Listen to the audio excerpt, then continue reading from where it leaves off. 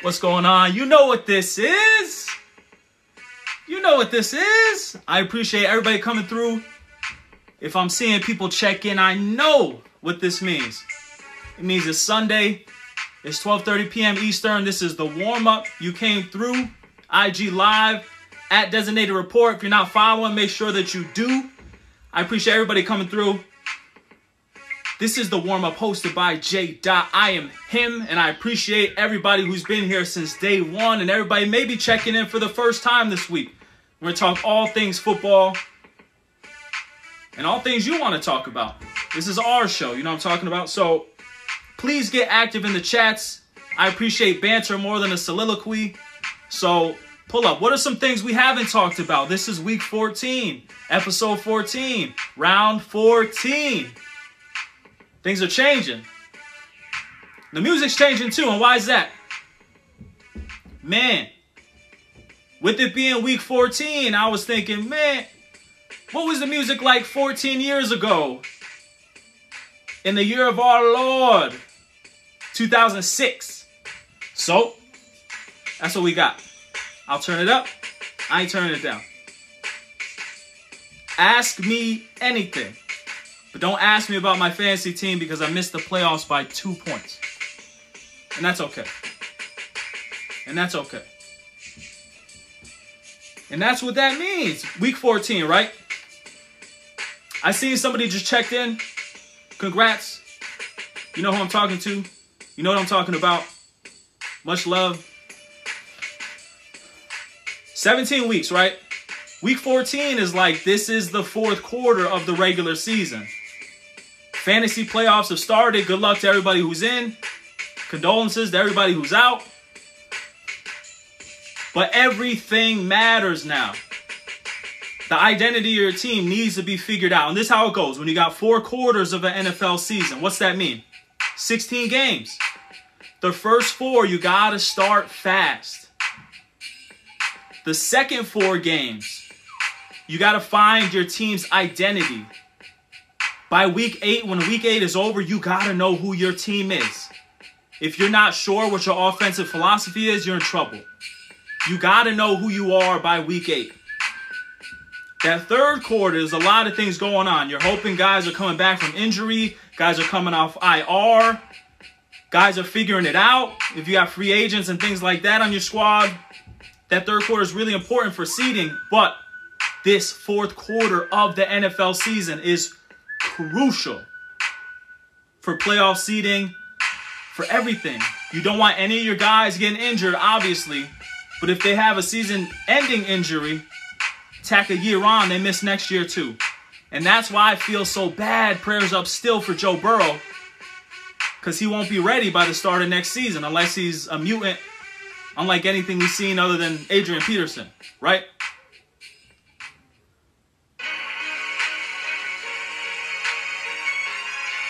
You in 2006? Some of the people watching were in diapers in 2006. Some were changing diapers in 2006.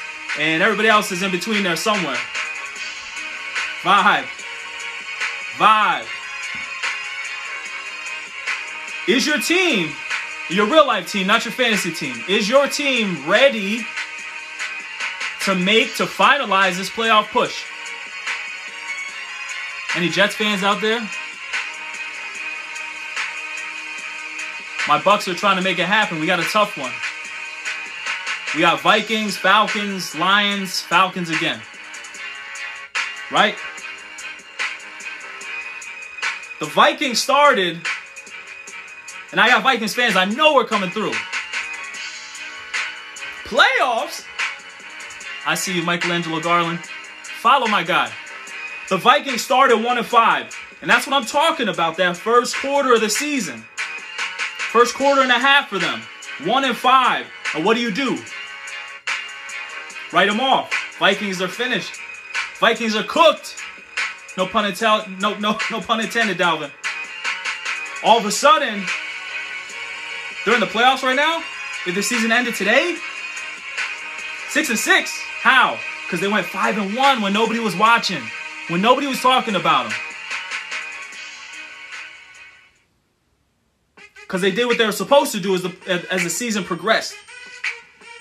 This team is looking good. And Dalvin Cook should be an MVP candidate. I don't want to talk about the MVP because you know what I was saying since week two. And I think I'm wrong. And I gotta I gotta take accountability for that. But Dalvin Cook should be an MVP candidate, but as a running back, that's just not gonna happen unless you're a 2,000 yard rusher. I'm sorry. This is a passing league, this is a quarterback league. So it's a lot like, not exactly like, it's a lot like college where you look for the best quarterback on the best team and kind of filter it down from there. And if we're doing that, it's looking like Mahomes. It's looking like Rodgers, dudes we weren't really talking about. Hold on, I don't like this dude over my shoulder like this. He can sit over here.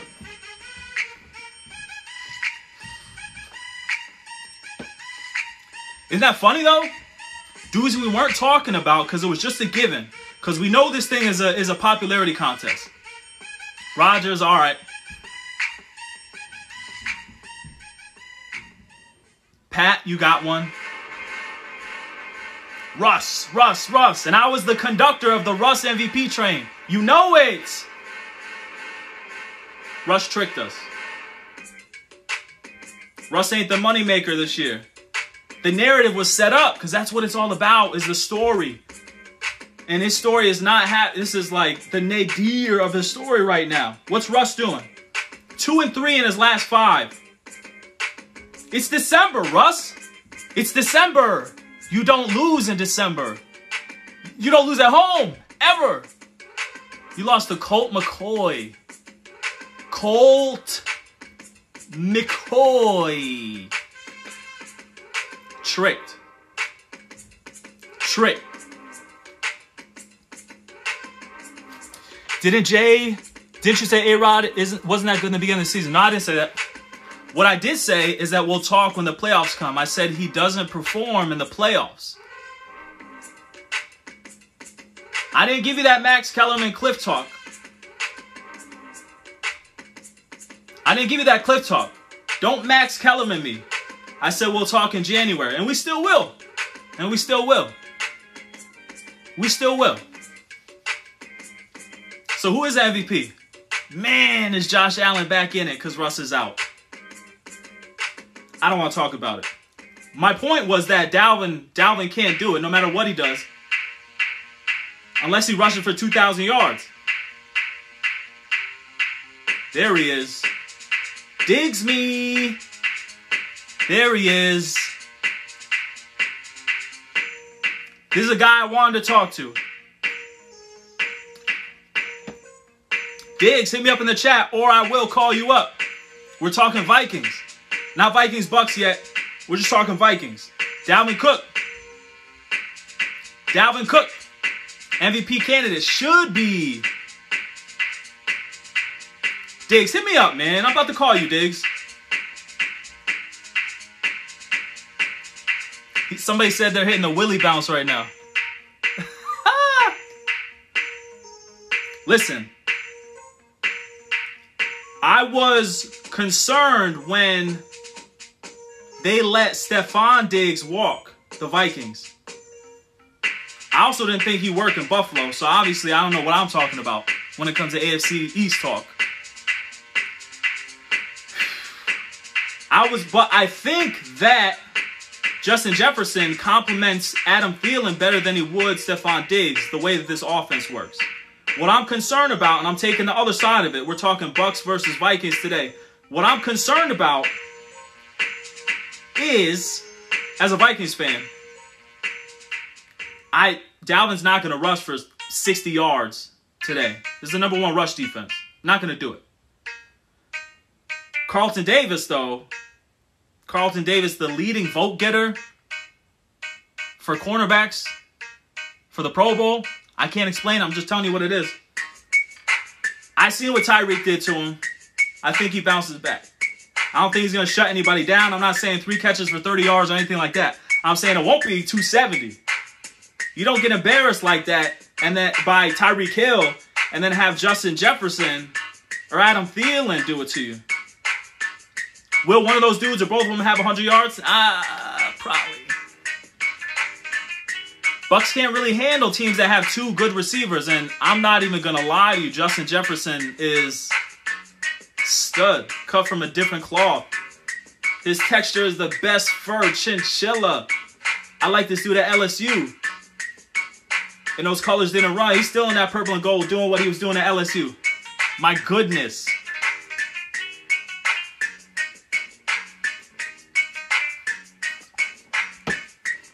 No, Tyreek Hill did not did not end Carlton Davis's Pro Bowl hopes. I don't there's still time, people. Vote for your guy. I'm gonna vote for mine. You see who this is, by the way? Don't make me get out of the chair for the first time and warm up history. Don't make me get out the chair. Shoot.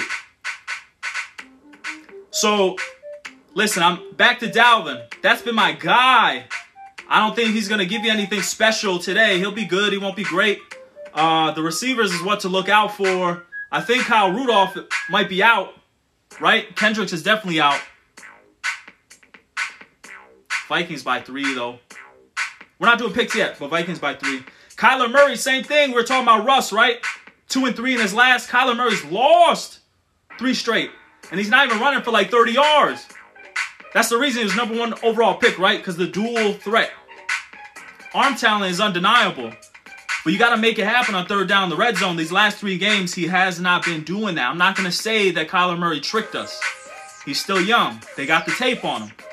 But he's got to figure something out. Because you're right in the cusp of the playoffs. You're going to let the Vikings take that spot? Going to let the Bucks take that spot? You're not winning the division. It's the Rams and, and even the Seahawks after everything I just said. Rams, Seahawks. Cardinals got to figure something out. Right? Isn't that the best receiver in the league that you got? And D Hop? Isn't that one of the best receivers of all time you got in the slot? And Fitz? Isn't that one of the fastest receivers in the league that you got in Andy Isabella? Why can't you make that happen? Two running backs. It's not for me to say. But you might got to shake some things up personnel wise. They can't get it done. They need to be in the playoffs. Hey, hey, hey. All right. Viewer's choice, ask me anything. I'm deep in the chat today. I, I said, don't you have the best receiver in the league? And before I said D Hop, I see somebody say, oh, the Cardinals got Odell? Is Odell the most talented receiver in the league? Maybe. But let me say something controversial, because that's what I like to do. The Browns are looking real good without Odell. Will they make the Super Bowl? Of course not. But are they looking like they could do some damage and maybe win a game in the playoffs? Yes. Can you get a first round pick for Odell? Maybe. Can you get a two? Yes. So why don't you do that? You're not trying to build the sexiest team. You're not trying to sell tickets anymore. You're the Browns. You never had a problem selling tickets. Even when you're 0 and 16, 1 and what? 2 and what? How does your team win? The way they've been doing it without this superstar who can net you a pretty significant pick that could do some things for you next year. Just something to think about, Stefanski. Something to think about, Cleveland. That's no hate to Odell. That's the ultimate love. What he's worth. That's just what he's worth. I would love him on, well, I wouldn't say I love him on my team because my team is a little busy, a little stacked up, a little backlog in the wide receiver room, right? It's going down in the wide receiver room in Tampa. But would Green Bay like him? Would anybody like him is what I'm saying. The Browns got to make that move.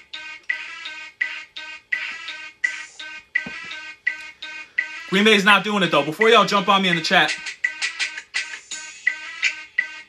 Green Bay had a had a chance for Robby Anderson last year, second round pick, and said no. And what's Robby Anderson turned into? That year, last year, almost 800 yards. This year, already 900 yards. You don't think Green Bay could have used them? I know what the record is. I know what it was last year. It's all good. There was seven and one. Could have used them. This year, same thing. Will Fuller. I know where Will, Will Fuller's at right now. But at the time, Will Fuller this year. You know those numbers. Will Fuller, Davante Adams, Aaron Rodgers, that's not scary. The Packers won't pull the trigger. You got to come off those picks, Green Bay. Because it's not about how many 13 and 3 seasons. It's not about how many 12 and 4 seasons we can have. How many of these? Well, I don't have one. You know what I'm saying, though. How many rings can we get? And in the past 10 years, with one of the best quarterbacks of all time, you got one. So you got to make it happen. These complimentary receivers were right there. But you wouldn't come off a second round pick. But you use that second round pick to get, oh, A.J. Dillon, a third string running back who has 97 total yards this season. When your second best player on your team is your running back already. I'm just talking, man. I'm just talking, man.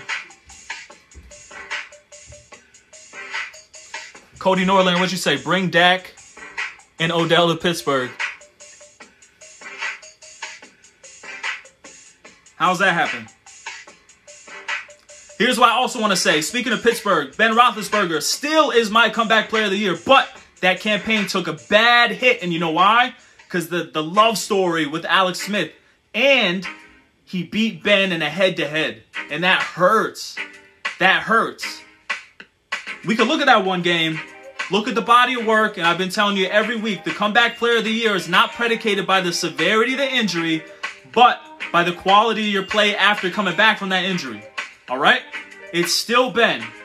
Alex Smith, I got so much love for, but he's got a lot more things to do. Don't forget, the Steelers just lost their first game. Did they lose it to the second place guy for comeback player of the year? Yeah. But they just lost their first game. Ben's got them looking good. He's got them looking great. They're not looking elite. They're not looking elite, but he's got him looking great. He's your quarterback. He's responsible for a lot of that stuff. Chase Claypool, you like him? Big Ben's responsible for a lot of that stuff. It can't be anybody but Ben. Alex Smith, respect, man. It's not you. Only two teams are top 10 in offense and in defense this year. I'm to get back to you. Let me know who you think the two teams are. There are two teams in the NFL right now that are top 10 in offense and in defense. Hit me up and tell me who you think they are. You will be surprised. And that'll get us into the next topic. Real quick though, we got to hustle. Let me get to my picks.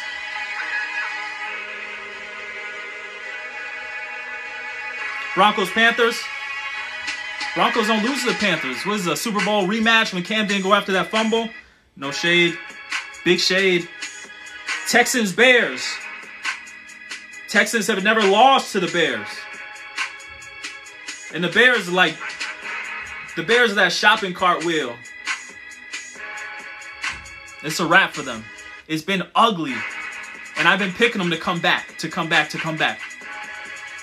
Saints got to be one of those teams. Pittsburgh and the Saints. I like those picks. I'll get right back to you. Steelers. Cowboys, Bengals. Man, I want to pick the Cowboys so bad. And I will. Cowboys over the Bengals. I'm not saying they get right. But it's a dub. Packers over the Lions. I ain't got to tell you. Titans over the Jags. I ain't got to tell you. Chiefs over the Dolphins. I want to see what the Dolphins defense does at home versus Kansas City. I do. Nobody's going to shut down. But I want to see what that defense looks like.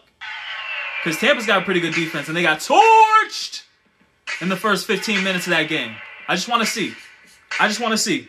But Chiefs. Cardinals at the Giants. I think we're assuming that the Giants are just going to find a way to get this division. But they got to do the work and they got to win the games. I don't think they win this one. I think the Cards go and handle business in New Jersey. That's who I got. We talked about the Vikings. I got them. I'm to go four. Vikings by four over my Bucks. And only because I called at the beginning of the season the Bucks were to be a seven seed. Right now we're a six. That's the only way we get to the seven. Gotta lose at least one of these next four. We're capable of winning this game by 20, but Vikings by four. Colts at Las Vegas. I got Vegas. I like them. I like them. That's it. I got no analysis. I like them. Colts defense, though. Jets at the Seahawks. Jets should not have wasted the, the money traveling. Falcons Chargers is intriguing. It's in LA. The Falcons, again, I keep telling you about this offense where you got, like, on paper, it looks amazing, but they just don't do it. And who do you blame for that? Coach, coach gone. Quarterback, quarterback been there. MVP one year. Chargers at home. Saints go to the Eagles and win by a million. Jalen Hurts is my guy. He's going to start the rest of the season, by the way, as he should. That's weird, right? Why did they take him in the second when you had a guy who was an MVP candidate in 2017? Don't give me hindsight as 2020. I know, I know this. I know what Carson Wentz is and isn't doing this year. Why would you draft a guy in the second round when he's your he's your big money quarterback, face your franchise? But it worked. But it worked. I Washington football team and the Niners. I don't know, man. I'm gonna go Washington. Alex Smith, you still ain't him though. You still ain't him though. I got the Steelers beating the Bills, and I think everybody else is picking the Bills because they see the the the the dents in the armor. And then I think the Ravens lose to the Browns. That's Monday night. Important. I kept y'all hanging. The only two teams that are top 10 in offense and defense this year, the Rams are one of them. The Chargers are the other team. The Rams and the Chargers are the only two teams in the league that are top 10 in offense and in defense. Here's why the Rams are doing that. They're beasting in pass defense. Opponent passer rating, they have two corners that are top 10 in allowing the lowest passer rating to opposing quarterbacks. Both their safeties are top 10 in that same category, and one of their linebackers is also top 10 in allowing the lowest passer rating by opposing quarterbacks. It's amazing. Chargers, what's your record? Top 10 in offense and defense, and your record is what? And that's why Anthony Lynn, it has to be said and it has to be done. Rams Chargers.